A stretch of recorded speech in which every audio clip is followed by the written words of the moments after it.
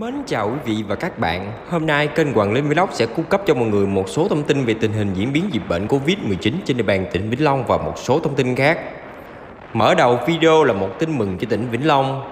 Từ 18 giờ ngày 10 tháng 9 năm 2021 đến 18 giờ ngày 11 tháng 9 năm 2021, toàn tỉnh Vĩnh Long không có trường hợp nghi nhiễm Covid-19 mới. Như vậy, đã 4 ngày qua, tỉnh Vĩnh Long không có trường hợp nghi nhiễm Covid-19 mới. Nhưng trong ngày hôm qua, ngày 11 tháng 9 năm 2021 thì có thêm một ca tử vong, nâng tổng số ca tử vong lên 43 ca. Thông tin thứ hai mà kênh Hoàng Linh Vlog tổng hợp được về việc Vĩnh Long nhiều bất cập sau một tuần dạy và học online. Cụ thể, sau ngày khai giảng năm học mới, Vĩnh Long cho học sinh lớp 9 và lớp 12 bắt đầu học với hình thức học online. Các khối còn lại sẽ học vào tuần sau. Tuy nhiên, sau một tuần tổ chức học online, Vĩnh Long phát hiện có nhiều bất cập.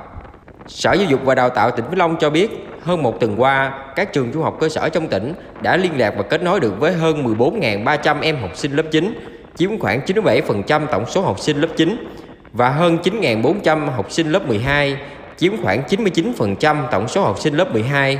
Các thầy cô và các em học sinh bắt tay ngay vào việc dạy và học bằng hình thức trực tuyến. Tuy nhiên, vẫn còn một số học sinh chưa tham gia được do nhiều nguyên nhân. Theo phản ánh của các trường, việc dạy và học online mấy ngày qua gặp khó khăn do hiện tại tỉnh đang thực hiện giãn cách xã hội, một số em nhà trường không liên lạc được, nhiều em học sinh chưa mua được sách, vở và dụng cụ học tập cần thiết. Một số học sinh thì lại mắc kẹt ở tỉnh khác nên không thể trở về học được. Cô Nguyễn Thị Duyên, giáo viên trường trung học cơ sở và trung học phổ thông Trưng Vương, thành phố Vĩnh Long, nêu một số khó khăn của trường. Và đây cũng là khó khăn chung của các trường trong tỉnh, cần phải khắc phục để tổ chức dạy và học tốt hơn trong thời gian tới. Các em ai cũng học trực tuyến nên đường truyền đôi lúc cũng không được tốt. Giáo viên và học sinh đang tương tác thì đường truyền bị mất nên giáo viên và học sinh phải kết nối lại. Một số em nói điện thoại không có mic thu âm hoặc không có camera. Thông tin thứ ba mà kênh Hoàng Linh Vlog tổng hợp được về việc Vĩnh Long chỉ đạo cụ thể về việc cấp giấy đi đường trong tình hình hiện nay. Ngày 10 tháng 9 năm 2021, Ủy ban dân tỉnh Vĩnh Long ban hành công văn số 5257 về việc cấp giấy đi đường khi áp dụng biện pháp phòng chống dịch bệnh Covid-19 ở mức độ cao hơn chỉ thị số 15 của chính phủ. Theo đó, Chủ tịch Ủy ban dân tỉnh chỉ đạo thủ trưởng các sở ban ngành tỉnh, Chủ tịch Ủy ban dân cấp huyện xã chịu trách nhiệm về việc cấp giấy xác nhận cho cán bộ công chức viên chức người lao động thuộc phạm vi quản lý. Đó là đối với trường hợp chưa có thẻ công chức viên chức. Đồng thời, theo đề nghị của các tổ chức, doanh nghiệp, thực hiện việc cấp giấy đi đường cho người lao động, nhân viên quản lý đối với các công trình, dự án đầu tư xây dựng thuộc chức năng địa bàn lĩnh vực quản lý. 2. Đối với nhóm đối tượng tham gia cung cấp dịch vụ thiết yếu và báo chí ngân hàng như bưu chính, viễn thông, điện lực, phát thanh truyền hình, cấp nước, ngân hàng và các cơ quan báo chí do đơn vị tổ chức doanh nghiệp cấp giấy đi đường và chịu trách nhiệm về mọi hoạt động đối với nhân viên, người lao động của đơn vị mình. 3. Chủ tịch Ủy ban dân cấp xã cấp giấy đi đường cho người lao động làm việc tại cơ sở sản xuất kinh doanh doanh nghiệp ngoài khu cụm tuyến công nghiệp do địa phương quản lý hoặc đang hoạt động trên địa bàn đã được phê duyệt phương án sản xuất kinh doanh theo danh sách do cơ sở sản xuất kinh doanh lập và đề nghị. Ngoài ra, Chủ tịch Ủy ban dân cấp xã căn cứ từng trường hợp cụ thể để cấp giấy đi đường đảm bảo yêu cầu chính đáng của người dân và công tác phòng chống dịch bệnh tại địa phương.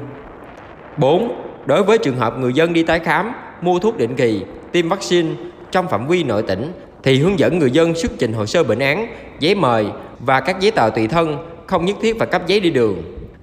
5. Việc đi lại của công dân trong xã vùng xanh, huyện vùng xanh do Ban chỉ đạo phòng chống dịch bệnh COVID-19 địa phương đó chịu trách nhiệm về hướng dẫn và quản lý. 6. Riêng đối với người lao động tự do như sản xuất nông nghiệp, thợ hồ, vân vân, di chuyển trong xã vùng xanh thì tạo điều kiện đi lại, không nhất thiết phải cấp giấy đi đường. Trường hợp ra khỏi xã vùng xanh thì cấp giấy đi đường cho người lao động, thời hạn tối đa 7 ngày và tùy theo đối tượng ngành nghề cụ thể, nhưng phải đảm bảo công tác phòng chống dịch bệnh Covid-19. 7. Công an tỉnh chỉ đạo công an cấp huyện cấp giấy đi đường cho người lao động cư trú trên địa bàn làm việc trong cơ sở sản xuất kinh doanh, trong khu công nghiệp, cụm tuyến công nghiệp và công trình xây dựng cho trung ương quản lý trên địa bàn tỉnh đã được phê duyệt theo phương án hoạt động. Riêng công dân trở lại làm việc tại các công ty doanh nghiệp đã được phê duyệt theo phương án ba tại chỗ thì chỉ đạo cho các chốt tạo điều kiện cho công dân đến công ty và làm việc. Chú ý, quá trình cấp giấy đi đường cho người dân tại cơ quan đơn vị phải đảm bảo tuân thủ các quy định về phòng chống dịch bệnh COVID-19 và quy định 5K của Bộ Y tế. Thông tin thứ tư mà kênh Hoàng Lên Vlog tổng hợp được về việc khoai lang tím gớt giá, thương lái không có cửa thu lỗ. Cụ thể, giá khoai lang tím thu mua tận ruộng là 3.000 đồng một ký, đến tay người tiêu dùng giá cao gấp 2 đến 3 lần, song vẫn không có thương lái đến mua. Vĩnh Long được xem là thủ phủ khoai lang của đồng bằng sông Cửu Long với diện tích khoảng 13.000 đến 15.000 ha, trong đó huyện Bình Tân đóng vai trò chủ lực. Những năm được mùa, được giá thì khoai lang xuất khẩu đã giúp nhiều hộ nông dân có thu nhập cao, ổn định cuộc sống. Tuy nhiên, từ Tết đến nay, giá khoai lang tím giảm xuống mức 600.000 đồng một tạ 60 kg, rồi 400.000 đồng một tạ. Thậm chí hồi cuối tháng 4, giá khoai lang còn lúc chạm đáy là 30.000 đồng một tạ. Ở thời điểm này, ông Sơn Văn Luận, Giám đốc Hợp tác xã Khoai lang Thanh Ngọc, huyện Bình Tân, tỉnh Vĩnh Long cho biết, giá khoai lang đang ở mức 3.000 đồng một ký. Khoai trên đồng còn khá nhiều, song hiện tại chỉ có hợp tác xã mua được của người dân, còn hầu như không thấy có bóng dáng thương lái vì không có thị trường tiêu thụ đi lại khó khăn. Việc tìm đầu ra cho khoai lang tím đang là khó khăn của hợp tác xã Khoai lang Thanh Ngọc bởi việc mua bán bị ngưng trệ. Trước đó có hội phụ nữ một số địa phương thu mua khoai để hỗ trợ bà con vùng dịch như Bình Phước, Nha Trang, Khánh Hòa và thành phố Hồ Chí Minh trước thời điểm giãn cách nghiêm ngặt. Riêng thị trường Hà Nội dù biết tiêu thụ rất mạnh, song hợp tác xã chưa có được đầu mối để giao lưu và tiêu thụ. Giá khoai lang tím hợp tác xã thu mua là 3.000 đồng một ký, cộng các chi phí ra đến Hà Nội cũng chỉ đến 5.000 đồng một ký, tính cả hao hụt cao nhất cũng chỉ đến 7.000 đồng một ký. Tuy nhiên được biết, bây giờ giá khoai lang tím ở ngoài Hà Nội rẻ nhất là 12.000 đồng một ký, còn mức phổ biến là 13.000 đồng đến 15.000 đồng một ký. Như vậy, nông dân thì bán quá rẻ, còn người tiêu dùng phải ăn giá khoai lang cao gấp 2 đến 3 lần, còn thương lái thì không có cửa thu lỗ. Phần cuối của video là thông tin về việc tỉnh Bạc Liêu và tỉnh Vĩnh Long đón người dân từ thành phố Hồ Chí Minh về quê. Cụ thể, tỉnh Bạc Liêu và Vĩnh Long triển khai đón người dân từ thành phố Hồ Chí Minh về quê, trong đó ưu tiên cho người cao tuổi, phụ nữ mang thai và nuôi con nhỏ. Ngày 11 tháng 9, tỉnh Bạc Liêu đã đón 203 người dân từ thành phố Hồ Chí Minh về đến khu cách ly tập trung phòng chống dịch bệnh Covid-19 của tỉnh. Trong đó, 203 công dân tỉnh Bạc Liêu đón về đợt đầu có 15 người cao tuổi, 39 phụ nữ mang thai từ 6 tháng trở lên, hai người khuyết tật, còn lại phần lớn là phụ nữ đang nuôi con nhỏ.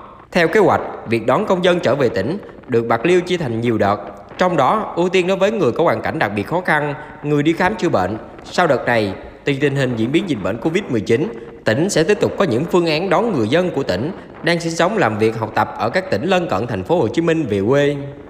Còn tại tỉnh Vĩnh Long, vào ngày 10 tháng 9, tỉnh Vĩnh Long đã tổ chức đón 314 công dân từ thành phố Hồ Chí Minh trở về quê.